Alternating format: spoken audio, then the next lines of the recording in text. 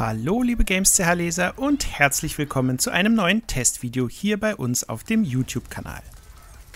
Vor etwa zehn Jahren verlor der im Januar 1993 geborene britische Schauspieler Abu Bakr Salim, der unter anderem Bayek aus Assassin's Creed Origins vertonte und in den TV-Serien Raised by Wolves und Informer mitspielte, seinen Vater an Krebs.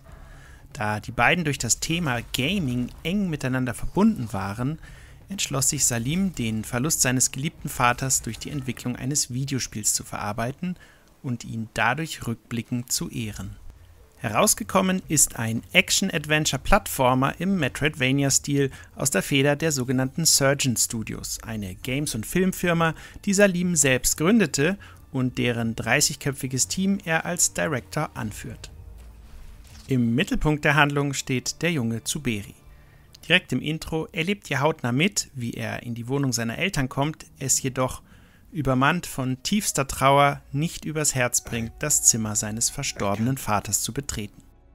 Kurz darauf begrüßt ihn seine Mutter und übergibt ihm ein Buch seines Baba.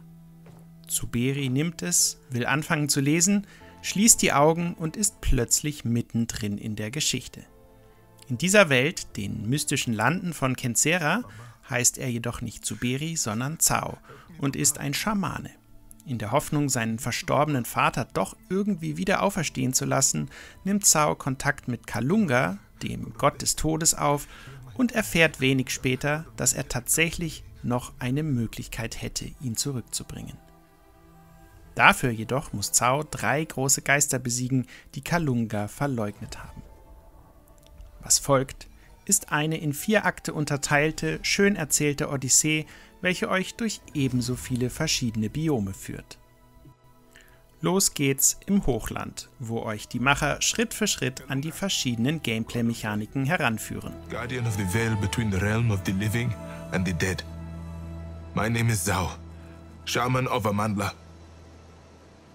And why Zhao, Shaman of Amandla? Have you called me to the realm of the living? Das mit Abstand wichtigste sind die Mond- und die Sonnenmaske. Ein Druck auf die obere linke Schultertaste genügt, um jederzeit zwischen den beiden Masken zu wechseln, die euch dann wiederum mit sehr unterschiedlichen Fähigkeiten ausstatten. Tragt ihr die blaue Mondmaske, könnt ihr im Kampf blitzschnell Lichtladungen auf eure Feinde abfeuern und sie dadurch aus der Distanz unschädlich machen. Wahlweise auch mit einer sehr praktischen Funktion für präzises Zielen. Wollt ihr euch dagegen in den Nahkampf stürzen, ist die rot leuchtende Sonnenmaske die geeignetere Wahl, zumal Zhao seine Gegner dann mit zwei mächtigen Stäben malträtiert. Jede Maske verfügt zudem über einen eigenen Fertigkeitenbaum mit jeweils acht Einträgen. Schaltet ihr beispielsweise das Lichtsperrfeuer-Upgrade für die Mondmaske frei, bringt ihr mehrere Lichtsalven gleichzeitig auf den Weg während das Sonnenbeben-Upgrade der Sonnenmaske einen Luftbodenangriff freischaltet, der getroffene Feinde zurückschleudert. Idealerweise direkt in eine der vielen tödlichen Umgebungsfallen, die dann den Rest erledigen. Eine weitere Besonderheit der Masken sind die sogenannten Energieangriffe. Um sie auszulösen, müsst ihr zunächst durch erfolgreiche Treffer die beiden Energiesegmente unten links im Bild aufladen. Drückt ihr nun gleichzeitig beide Analogsticks hinein, entfesselt Zao, je nach aktiver Maske, entweder den zum gewissen Grad lenkbaren Mondstrahl oder aber die Supernova, eine rotierende, nach oben lodernde Feuerwalze, die nahezu alles in ihrem Einzugsgebiet verschlingt. Vor allem, wenn Widersacher aus allen Richtungen anrücken, sind diese aufrüstbaren Special Moves der perfekte Rettungsanker. Alternativ dürft ihr volle Energiesegmente aber auch durch Drücken der oberen D-Pad-Taste in Lebensenergie umwandeln. Dass sich viele Kämpfe schon früh recht herausfordernd anfühlen, liegt aber nicht nur an der Menge der Gegner, die euch die Macher häufig in engen Arealen auf den Hals hetzen, sondern auch daran, dass stärkere Feinde häufig blaue oder rote Energieüberschilde tragen. In solchen Situationen müsst ihr dann fix zur farblich jeweils korrespondierenden Maske wechseln, um effektiv Schaden anzurichten.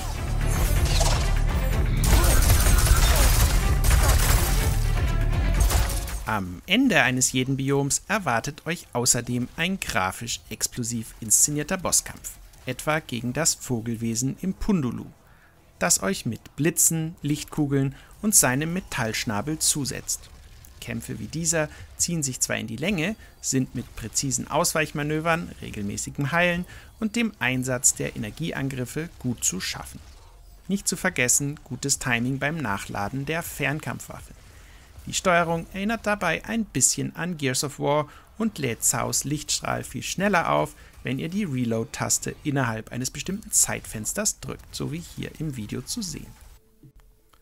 Sobald ihr bestimmte Schreine innerhalb der Spielwelt gefunden habt, variieren die Entwickler das Leveldesign außerdem noch mit maskenspezifischen Gadgets. Bambas Stein etwa ist mit der Mondmaske verknüpft und friert fließendes Wasser temporär ein, wodurch ihr dann zum Beispiel rauschende Wasserfälle erklimmen könnt. Der an die Sonnenmaske gekoppelte Speer von Akida wiederum erlaubt euch, kreisförmige Schalter aus der Ferne zu aktivieren meist dicht gefolgt von einer zeitkritischen Jump'n'Run-Passage, in welcher ihr schneller als ein orangener Lichtfunke ein Tor erreichen müsst, um es zu durchqueren. Oder nehmen wir Zawadis Haken. Damit zieht sich Zao rasend schnell an speziell markierte Punkte in der Umgebung heran und wird dann durch die Luft katapultiert. Die meisten dieser Gadgets lassen sich ferner als Waffe nutzen. Bambas Stein etwa friert auch Gegner ein, während Akidas Speer präzise Wurfbahn vorausgesetzt, Lebensenergie abzieht oder rote Schilde durchbricht. Abgerundet wird das Kampfsystem von Schamanenschmuckstücken, die Zau mächtige Segnungen wie etwa zusätzlichen Widerstand gegen Projektilschaden zuteil werden lassen. Die Idee ist vergleichbar mit den Amuletten aus Prince of Persia The Lost Crown oder den Bildnissen aus Blasphemous 2 und setzt den Besuch von Werkbänken voraus, um die getragenen Schmuckstücke zu wechseln. Obwohl in Tales of Cancera Zao das Jump'n'Run-lastige Erkunden und Kämpfe im Vordergrund stehen, werdet ihr zwischendurch auch immer wieder mal mit kleinen Puzzles konfrontiert. Meist geht es dabei dann darum, Blöcke innerhalb eines Abschnitts zu verschieben, um Druckplattenschalter zu aktivieren, brüchige Bodensegmente mit dem Gewicht der Blöcke zu zerstören oder zusätzliche Plattformen für eine knifflige Hüpfpassage zu schaffen. Und der Schwierigkeitsgrad? Der fühlt sich im Vergleich zu Genre-Konkurrenten etwas moderater an. Hauptgrund hierfür ist, dass das Spiel in recht kurzen Abständen automatische Speicherpunkte anlegt, an denen ihr bei Fehltritten direkt neu startet. Hinzu kommt, dass Feinde in einmal gemeisterten Abschnitten auch nach einem späteren Bildschirmtod nicht mehr respawnen. Für zügiges Vorankommen sorgt darüber hinaus eine Automap, auf welcher gerade neu entdeckte Gebiete meist schon zu großen Teilen enthüllt sind. Das heißt, man eine Route auch schon sehr gut planen kann. Im Gegensatz zu Prince of Persia The Lost Crown fehlt allerdings ein Gegenstück zu Ubisofts genialer Erinnerungsfragmente-Funktion. Ihr könnt wichtige Orte auf der Karte hier also nicht mit einem spielinternen Screenshot bookmarken, um sie später schnell wiederzufinden. In Sachen Zugänglichkeit fehlen zudem Funktionen wie ein Hochkontrastmodus und die Möglichkeit, besonders knifflige Jump-Run-Passagen mit Hilfe von Portalen zu überspringen. Kommen wir zu unserem Fazit. Zwar kann Tales of Cancera Zao nicht mit herausragenden spielerischen Innovationen glänzen wohl aber mit grundsoliden, gut ausbalanciertem und sehr flüssig dargestellten Metroidvania-Gameplay.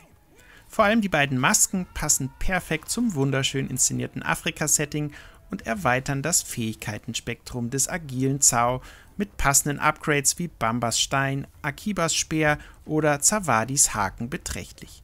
Schön auch, wie flüssig und responsiv sich alles steuern lässt und wie viel Herzblut in den Soundtrack, die Sprachausgabe und die Geschichte floss. Letztere berührt auf emotionaler Ebene, hält zahlreiche Lebensweisheiten bereit, lässt euch immer wieder mal schmunzeln und wird streckenweise sogar richtig dramatisch. Leveldesign technisch gibt's wenig zu meckern, wobei wir uns unterm Strich noch mehr Variation bei den Gegnertypen gewünscht hätten. Mit 8 bis 10 Stunden für den roten Storyfaden, respektive 12 bis 15 Stunden, um alle Extras zu entdecken, geht der Umfang zum geforderten Preis von ca. 18 Franken ebenfalls mehr als in Ordnung. Macht zusammen eine klare Empfehlung für Genrefans und bleibt hoffentlich nicht das letzte Spiel der Surgeon Studios.